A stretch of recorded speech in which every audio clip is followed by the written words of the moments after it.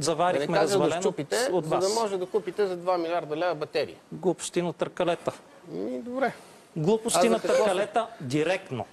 И сега само не трябваше да ме ядосвате толкова. Сега няколко неща да кажа. Кажете се.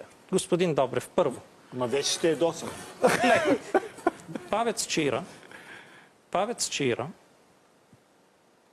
се Изяждате ремонтира, времето и нищо не казвате. се ремонтира по договор, който е възложен година и половина преди ние да влезем като служебен кабинет, не като редовен. По процедура на EBRD, на Европейската банка за възстановяване и Точно развитие. така. И изпълнителя ABB, най-голямата компания в Европа. Така. И този павец с ръководството на Кой НЕК, го щупи павец? с не ръководството на? НЕК, което вие назначихте, Ама то още с е изпълнителите, които вие избрахте, То още си е там това ръководство. се щупи. Сега вие ми кажете защо се щупи. Може ли да ми кажете? Не, не мога, защото вие вчера направихте една година, откакто сте министри. Как да ви кажа аз, който не съм участвал в властта от 2013 година? Пет месеца, откакто съм Може ли още един коментар Не, а, само за а, мерките на правителството? Само Нямаме това, една дума само. Моля ви една дума и една дума от... Давам я на господин Василев. Да.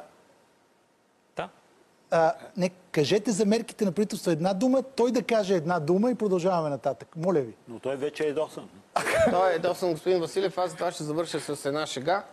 А, един приятел ми каза, че вече средната работна заплата трябвало да я казват като прогнозата за времето. И аз бях много изненадан, защото така и то всяка вечер в новините.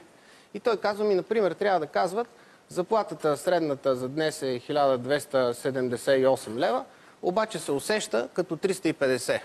Заради инфлацията, разбира се. А, една дума. Господин Добрев, само една единствена дума. Ако за последните 12 години ние бяхме построили газовата връзка с Гърция, сега щяхме да си получаваме целия азерски газ и цената щеше да е три пъти по-ефтина от цената на Газпром върху цялото количество. Така че всички тези неща, които вие казахте до момента, съжалявам, че е малко повече от една дума. Всички тези неща, които казахте до момента, всичките до едно, показват едно. Гузна съвест.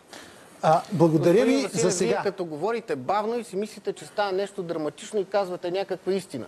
Ми не казвате. Вие казахте преди половин година, че няма да има хора под прага на бедността, а те стават все повече. Отвоиха се два пъти и три пъти, защото инфлацията Дом- им изяде доходите. Само вие не го виждате това. Добре. А, ще говорим пак